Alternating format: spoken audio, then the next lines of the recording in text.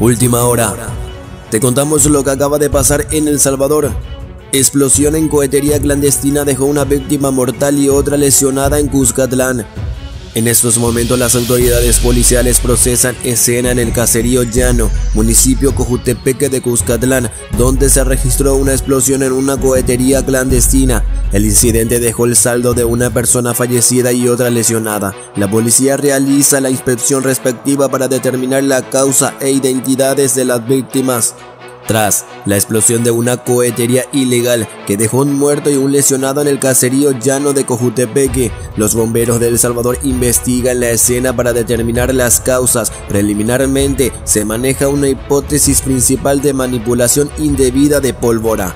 La policía aún se encuentra en la zona para investigar las causas de este suceso. Por otra parte, hablemos de seguridad. El ministro Villatoro expone exitosa estrategia de seguridad en el Congreso de Cónsules Honorarios y es que la política en materia de seguridad se ha convertido en un referente internacional e incluso busca ser replicada por presidentes de otras naciones. El ministro de Seguridad Gustavo Villatoro presentó los resultados inéditos del Plan Control Territorial en el Congreso de Cónsules Honorarios, entre ellos la reducción histórica de los homicidios y demás delitos a escala nacional. Nuestro presidente Nayib Bukele y su gabinete de seguridad estamos haciendo todo el trabajo necesario para combatir la criminalidad. Hoy nuestro nuestro país tiene una esperanza. No han sido decisiones fáciles. Recibimos un país con un 97% de impunidad y actualmente tenemos una tasa inferior al 15%, detalló. Y es que la política en materia de seguridad se ha convertido en un referente internacional e incluso busca ser replicada por presidente de otras naciones. El funcionario destacó que uno de los mayores logros dentro del plan control territorial ha sido recuperar el control de los territorios y centros penales. También toda la dignificación del trabajo policial. Estamos mejorando los puestos policiales para que los elementos de la Policía Nacional Civil tuvieran condiciones dignas, equipamiento tecnológicos y armas para fortalecer el combate a la criminalidad. Esas mejoras hemos venido desarrollando de forma sostenida, agregó. Hasta acabar con el último pandillero, los diputados aprueban nueva prórroga al régimen de excepción. La Asamblea aprueba nueva prórroga al régimen de excepción para exterminar a las pandillas. Con el régimen de excepción las pandillas están al borde de la extinción, reduciendo drásticamente su operatividad criminal en los territorios. En detalle se confirman más de 70.000 pandilleros y colaboradores en el transcurso del régimen de excepción. Ante esto, la medida ha sido prorrogada por la Asamblea Legislativa de El Salvador por 30 días más. No votaron a favor los partidos de Arena, FMLN, Nuestro Tiempo y Vamos. El gobierno del presidente Nayib Bukele se mantiene firme en la guerra con contra las pandillas. El régimen de excepción es la medida constitucional que ha brindado las herramientas legales al gobierno para neutralizar a las pandillas y llevar a sus miembros ante la justicia acusados de agrupaciones ilícitas. A propuesta del presidente de la República Nayib Bukele, el Gabinete de Seguridad presentó ante la Asamblea Legislativa de El Salvador la solicitud para la quinta extensión del régimen de excepción en El Salvador. El combate contra el narcotráfico también sigue el presidente Nayib Bukele ha informado sobre un hallazgo realizado por la Policía Nacional Civil, que se trata de la incautación de seis bultos con un contenido entre 400 y 500 kilos de cocaína durante un operativo efectuado por el Grupo Especial Antinarcóticos y la Policía Costera en la playa El Espino de Usulután. En este procedimiento se capturó a Benjamin Franklin Blandon Ramírez, quien será acusado de tráfico ilícito. En este momento se está procesando la escena para determinar la cantidad de droga que se le ha incautado. Pasando a otra información, en cuatro años, el gobierno ha invertido 680 millones en créditos de vivienda.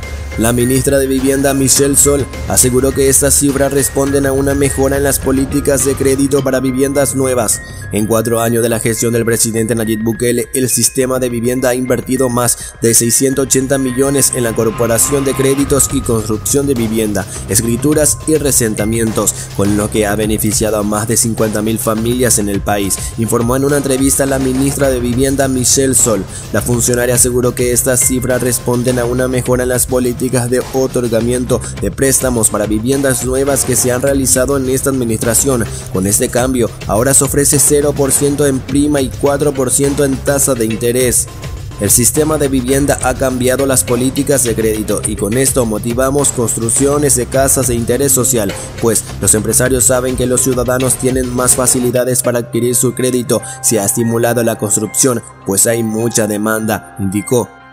Apuntó que incluso empresarios colombianos de construcción están explorando desarrollar proyectos habitacionales en el territorio al observar el creciente requerimiento de viviendas. A estos inversionistas se le ha expuesto la situación del país y se le ha ofrecido el apoyo, dijo.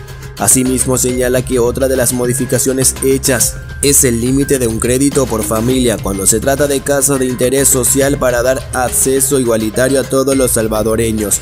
Cuando la vivienda es de interés social, hemos cambiado la normativa para que solo se pueda adquirir crédito para una sola casa por familia, pues antes algunas personas solicitaban crédito para dos o tres viviendas y algunas las ponían en alquiler. Buscamos que todos tengan acceso igualitario a la vivienda, agregó. Por otro lado, afirmó que debido a este dinamismo en la adquisición de inmuebles, el Fondo Social para la Vivienda ha tenido que modificar sus metas de colocación de créditos para el quinquenio, pues al finalizar el tercer año ya se habían superado las previsiones hechas al inicio de la gestión. Sol informó que el gobierno ha recuperado 5.4 millones en patrimonio de los salvadoreños, dinero que se había perdido en notificaciones irregulares. Para mí es un sueño hecho realidad tener mi casa. Y pues le agradezco a todas las instituciones que nos han ayudado. Desde que yo tengo memoria, nuestro sueño siempre fue tener nuestra propia casa, tener una, una casa propia. Y para lo que yo esperaba y soñaba, esto ha sobrepasado, pues, ¿verdad?, mis ideas. Y le doy gracias a Dios y por la oportunidad que me dio de tener mi casa. Ese, ese día me entregaron la llave de mi apartamento. Él está haciendo oh, obras, pues, va a través de la ministra y todo eso, pues. Nosotros le damos gracias a Dios por, porque ha sido bueno con nosotros. Eh, ha puesto personas idóneas para aquello. ¿Verdad? O sea, es Dios quien puso al señor presidente aquí para que se diera todo lo que está dando. La obra consta de una inversión de 1.5 millones de dólares en la construcción de viviendas para las 45 familias. El 74% de las personas beneficiadas son mujeres jefas de hogar. Invito a seguir viendo nuestros contenidos de Alfa Producciones. Dale like, suscríbete y activar la campanita para que te llegue la notificación de un nuevo video.